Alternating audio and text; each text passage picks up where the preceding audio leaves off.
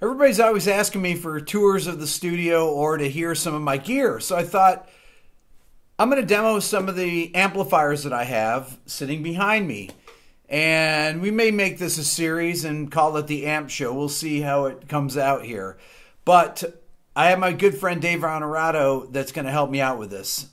Here we go. We're going to showcase two amplifiers. The first being an Orange Overdrive 80 watt. It's actually a reissue from around 1990, 91. And the other amp is a Sound City 50. So Dave's going to go through and talk about the amp a bit, and then we're going to check it out. Dave? Well, what we have here is a uh, early 90s reissue orange OR80 80 watt EL34 power tubes. Really basic straight one channel amp, um, no channel switching, no boost, anything like that. It does have an effects loop on the front, um, but basically it's just a one channel amp. You got a high and a low gain input here. This is basically the what they call a frequency uh, control, and it's a five-way rotary, and each position has less bass in it as you go clockwise. Clockwise. Uh, bass, treble presence, gain knob, master, power switch, and that's it. So these were really the first reissue that uh, was made of these amps after the 70s. This particular one was made by Trace Elliot and was sold through Gibson, and uh, they're pretty rare. You don't they were only made a couple of years. Um, they stuck pretty true to the original design, so they sound really close to a real 70s one. One, uh, one of the things that I read, I don't know if it's true, that they actually had parts from the factory that they used. Some of them they did. Um, these, even um, the face face yeah, some of the face plates from the 70s. Yeah, yeah, and the bars and stuff like that, and the knobs. Um, there was another amp called Green amps too yeah. um, that were around Matamps. The Mata and Green amps um, are actually a little more heavy as far as the gain. So they're actually used by like Fu Manchu and bands like that, you know, Kyuss. but this, kind of but this amp is yeah. great for these kind of things. Yeah, it's incredibly yeah. creamy in the mid range. It's, it's, a killer um, sounding amp. Okay, so before we start, I want to talk about the microphones and the mic pre's. Okay, so we're using a pair of, well, this is actually a B, uh, Brent Averill 1073 that was originally out of a Neve console, and this is a BAE 1073, which are really, really killer mic pre's. I'm running them flat. There's no EQ. You don't, you don't see the EQ buttons in here on either one. So we're running them flat for this video. So we're using this Marshall checkerboard reissue cabinet with 25 watt greenbacks. On this speaker, I have a Shure SM57 between the dust cover and the rest of the speaker. And the 421 is between, midpoint between the two speakers. I like to record using both speakers because it actually is much better in phase than miking the same speaker. If you think about the three to one principle, uh, it actually sounds sounds much better and much more in phase.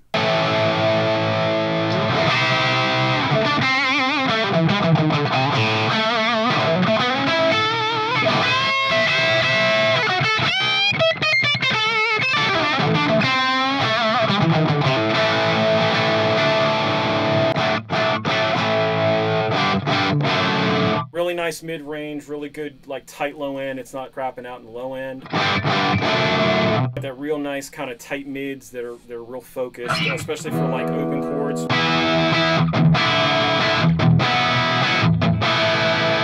So it's real tight, but it's got definition to it. It's not getting real dark. With like dissonant notes in it. Um, and then lead wise, it's it's got that real kind of Jimmy Page type thing to it, which is cool. It's like kind of glassy, not super creamy, but it still kind of has that real classic rock kind of tone to it. So it really gets both best of both worlds with it. And what's great about this amp that I love about it is we're basically we're about halfway up on it. So the more the more you dime it, the more it's even going to sing. And especially what I've noticed with this amp is that the Greenback 25s, when this amp was made, it came with two cabinets. It came with Greenback 25s loaded in one cabinet, and you, then you could get 75 watt Celestions also for the 120 head because it had a lot, it had you know a little more power, and the 25s would have definitely blown with a 120. So um, I prefer this amp with 25s personally, but you can you know you can use anything. There's vintage 30s, you know all kinds of stuff. So um, but for the classic kind of this tone, these are 25s, and you can kind of hear it. It's just got that real kind of, you know, you know.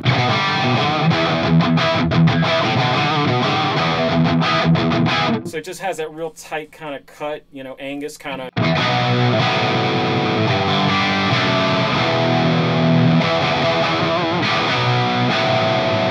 If you look at old pictures of Led Zeppelin, you'll see Jimmy Page playing some old oranges. They're not exactly these ones. They're, yeah, they didn't have as much gain, so they were actually turning these up even louder.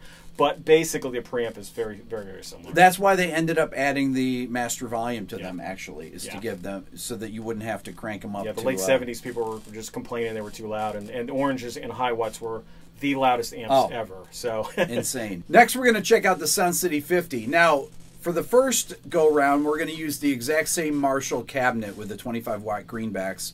Through the Neve 1073s, I've got two mics again on it. I've got a 57 on one speaker and a 421 on the other speaker. Dave, tell us about the amp. Okay, for this go around, we're going to do a early 70s Sound City 50R head.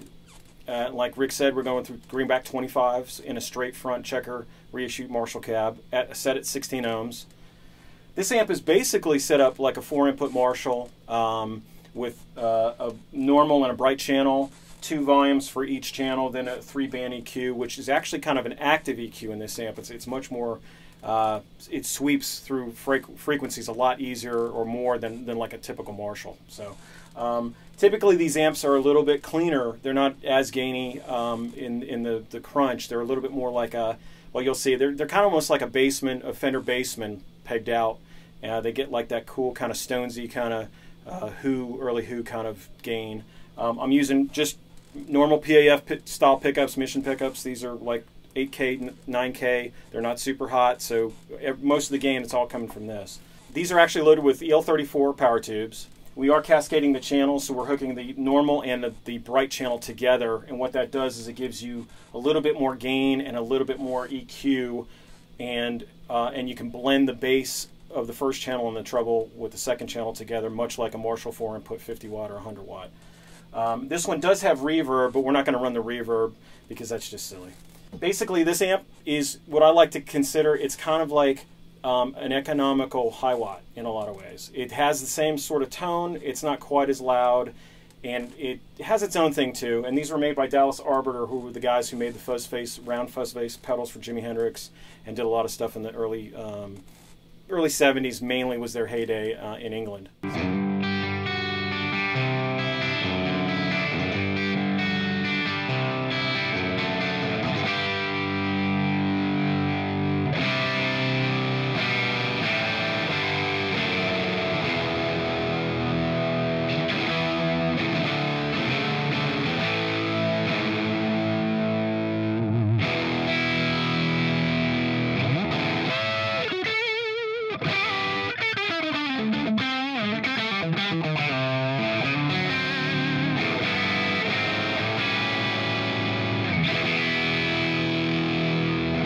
So you can see how much the volume really affects this amp too. This is um, very much touch sensitive amp. Um, you know, you can roll it way back. It's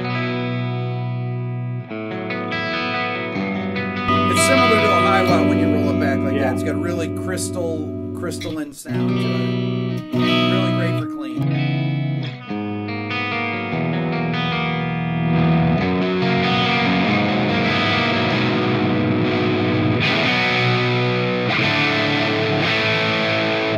Classic 50s. That's your, that's 50 your watt. Townshend.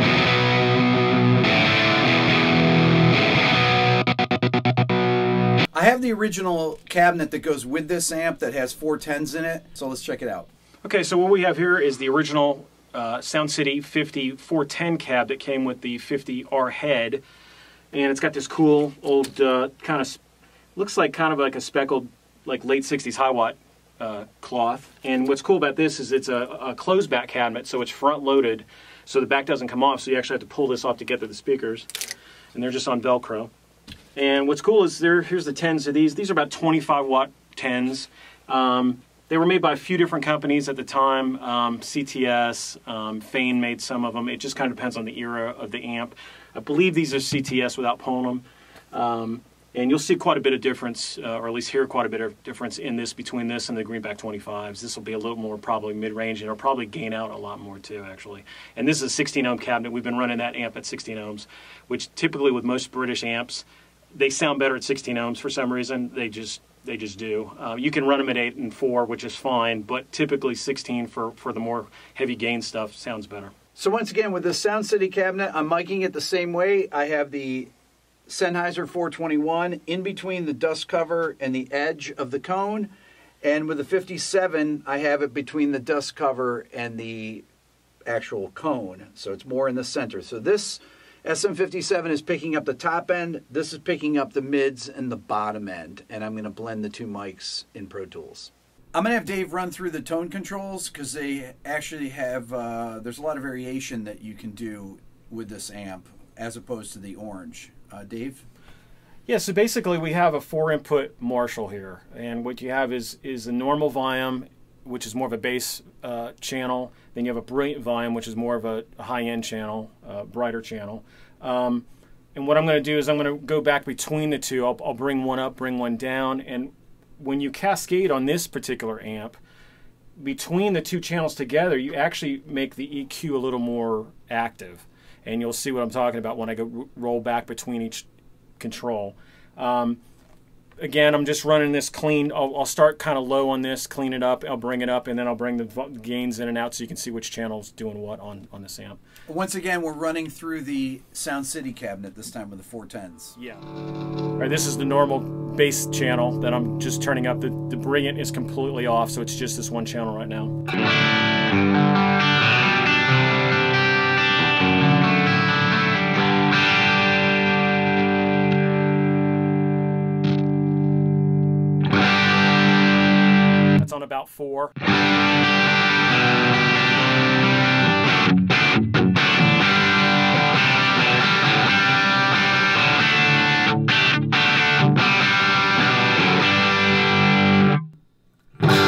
About six.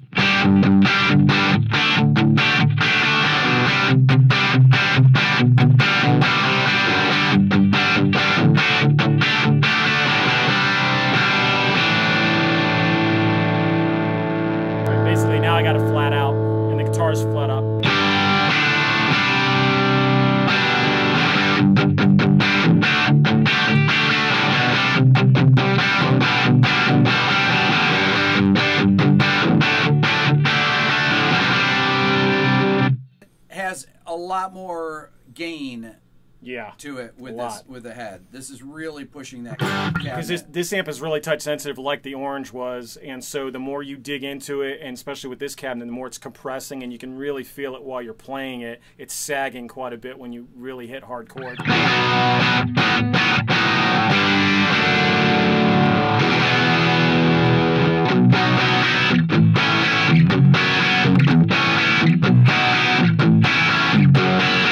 Great rhythm amp. This amp will record really well, and if you mixed it with another amp, like Cascade two amps together, it really sound good. Because this one tends to be a little cleaner, so it's it's more it's better for rhythm stuff in my my opinion. Uh, so all right, so now that that was just a normal volume, flat out. I've got the treble basically on three. The middle is on a four. I've got the, I've got the bass rolled way out on this. It's like a two because it's really pushing those tens it, hard. It really will. It really uh, farts out when. Yeah, and I'll, I'll show you what this will do. Just I'll go through the controls here. So this is the treble, all the way off.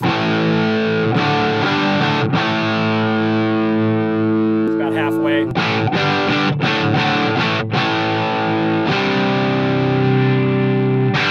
That's wide open. Yeah. And I don't have the brilliant control in it at all yet, so we're we got a lot of top end in yes, this. it's it's really high endy.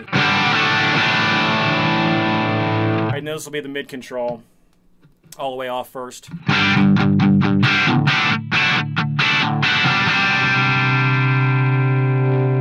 Halfway.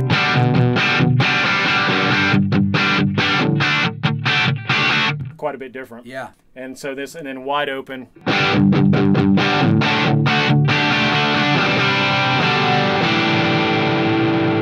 Are much much more sensitive than a, than a Marshall would be. Yeah, they definitely. they have way way more. Uh, There's much more sweep in them. Much more sweep in them. Yeah, no comparison actually. Um, and then this will be the, the bass channel or the bass control itself all the way off first.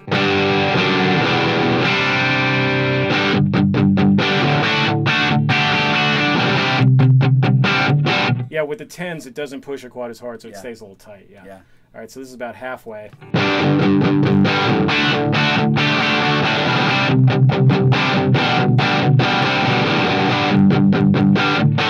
Yeah, this will be really muddy.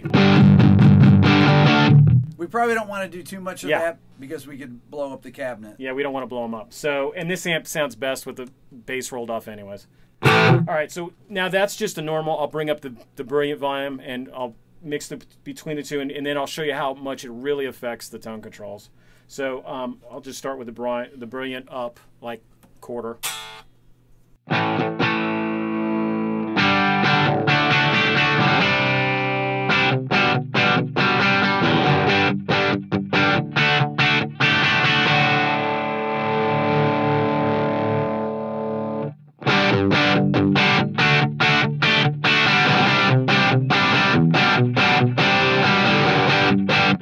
Good tele amp.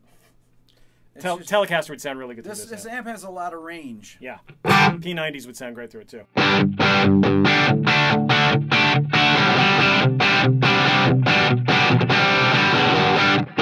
So you can see there's quite a bit of difference just between the channels themselves. That's just a brilliant channel with the normal all the way off. I love the orange. That's one of my favorite sounds. But this amp is is incredibly versatile because of that EQ. Yeah, and I think the other good thing about this amp too is is you can always you know we're not running obviously any pedals into this, so you could always throw this something in the front of it. Really well. Yeah, so uh, it's a good platform to start with. Much more so than probably a real Marshall because the EQ section is a lot more active in this. So with pedals, it would actually you know work even better than probably a Marshall would. So we're gonna go for a vintage amp and you can find one of these at a good price. This is a real great sleeper amp right here, the Sound City 50. Yeah. That's all for now. Please subscribe here to my Everything Music YouTube channel. If you're interested in the Beato book, you can find it on my website. And if you're interested in supporting this channel, you can do so through the Beato Club that you find on our website. And remember to follow Dave on his Facebook. I'll have it in the description below. Thanks for watching.